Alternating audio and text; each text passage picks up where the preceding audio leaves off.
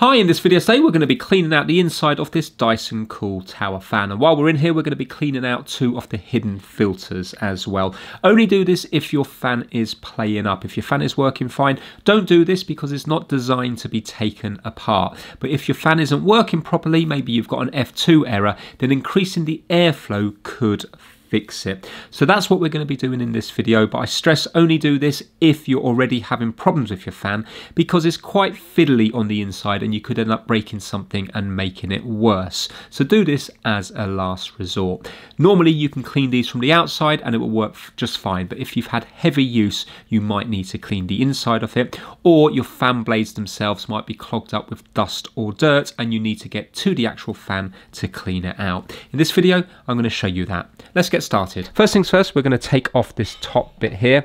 We are unplugged, so make sure you're unplugged from the mains. To take off this, hold the bottom and just twist the top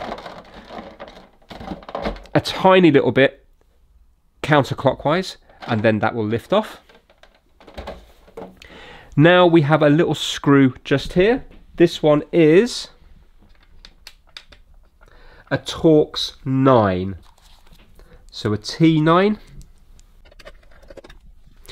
And now we need to get a pry tool and we need to pry in just here, here, and also here. There's basically three clips that you need to loosen. So get your tool in here and just uh, lift the black bit up while prying in here. And hopefully you'll find bit by bit they will lift up. There we go. So they're out there now. You can see a clip here, here, and here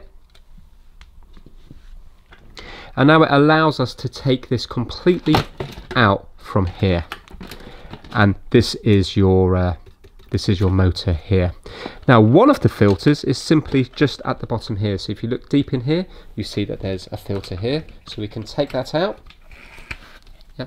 These are both lovely and clean now on this uh, fan because I've already cleaned them, but you will find that that will have some dust on. So you can give that a vacuum and then you can put it in some warm water and give it a nice good clean out. Be gentle with it, it's only foam. Make sure it's fully dry before you put them back into your fan. Don't put them into your fan when they're wet. Make sure they're fully dry. You can get the hair dryer on them or leave them outside in the sun to dry. So that's that one, nice and easy to get to. The other one is located in here. Now, it's really important that you clean in deep down inside here. So you can see where all the vents come through here. This is where it sucks in the air from the room. So basically you need to make sure that all of these are really nice and clean because you will get a dust buildup on the outside and the inside. So if they're all blocked up, you're not going to have good airflow into your fan. So get a cloth and clean, just very, not wet, just very slightly damp and clean all in here. Remember there's a circuit board underneath here at the bottom. Do not get water down there. So just a slightly almost dry but slightly damp cloth all the way around here and clean up all these holes. This has already been cleaned. So we're going to put this on its side so we don't damage anything and we need to undo one, two, three, four screws from the top here. These are also T9 and these are long screws.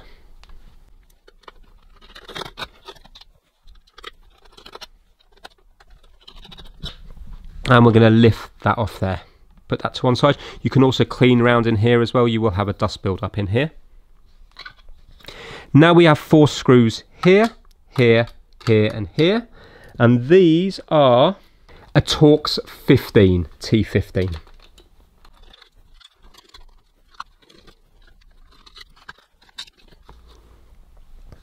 And now we can lift this off, like so.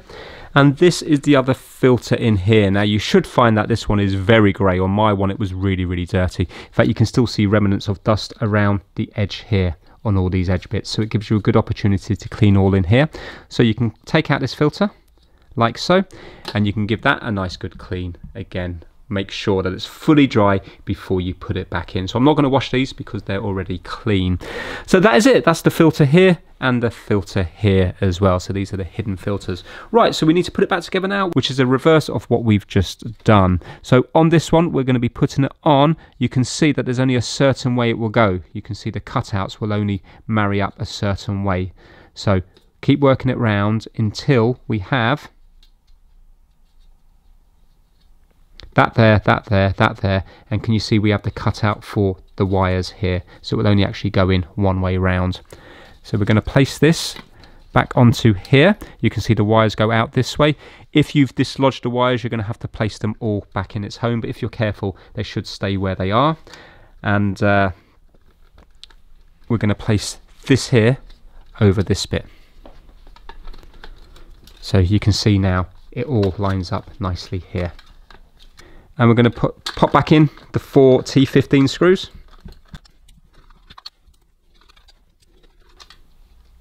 Right, so make sure they're all done up nice and tight. Now it's important that when you've done this that you make sure that it's still spinning freely here because if it's not, you're going to have a problem. Next up we need to put this one on and you can see that we have a little cutout just here. See that looks different than the rest. That again is to go where the wires are so you can't get it in the wrong position. And we're going to do up the four T9 long screws.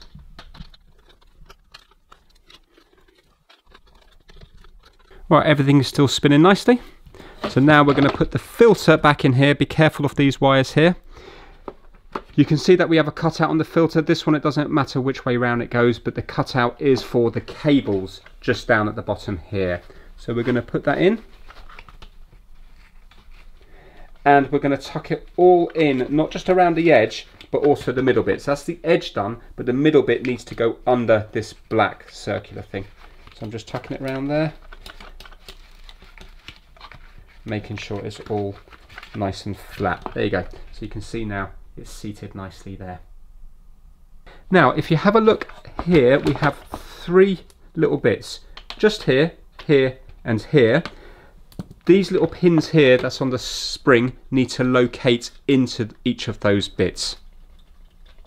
Now it's awkward because you have this big mass of wires going up here but what I'm going to do is if you have a look to the left hand side of these wires this spring here is going to go into the mounting point just to the right hand side of the Dyson cool bit. So there's a mounting point just down here which is just on the right hand side so I'm going to put the left hand one of these just down on there and that should hopefully line it up. You might have to use a little light to get in here because it's hard to see exactly where it's sitting. But there we go, that now has located nicely there. So it's got springs on, so it's allowed to move a little bit. And now we're going to line this up. This is nice and easy. You see the hole here for the screw. You just put it to there and it should clip down into place. And each of the little clips will go into their home. And we just need to do up the T9. And that's it. That's back together now. We're now going to get the top. We're going to line up this bit here where it says Air Multiplier Technology with the Dyson Cool. You can see it's gone down nicely and we're just going to turn a tiny little bit clockwise and that is it.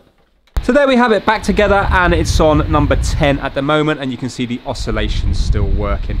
So just to show you the air getting sucked in through here, if we get a tissue and put it up there, you can see that that is where the air gets sucked in all the way around. So if you're in a dusty environment or even not a dusty environment, you will get a build-up of dust in that area in there. And because you get a build up in there you're going to find a bit of dust on the bottom filter and also that filter up by the motor as well. But it gives you a chance to make sure that the blade is spinning nicely on the inside with your finger.